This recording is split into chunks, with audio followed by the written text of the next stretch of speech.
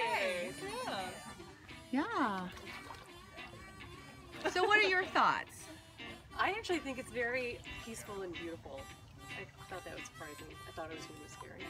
It is oh, beautiful. And we did see alligators. That was awesome. But they, they, they, they didn't bother you. No, not at all. No. They stayed their distance, as did we. Good job.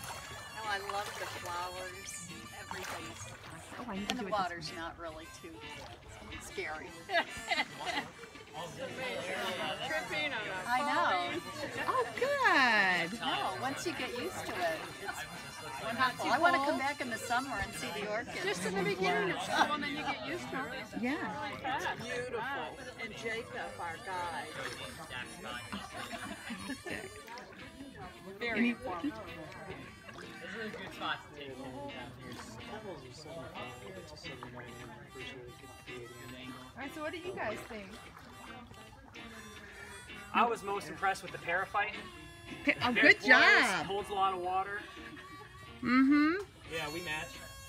Aww. Loving the swamp. Uh, loving the swamp. Loving the swamp. Go Packers. Go Packers. Today, we can root for the Packers. So would you suggest your friends to doing this? Is this something too scary for people? Yeah, we just want too many people doing this. No.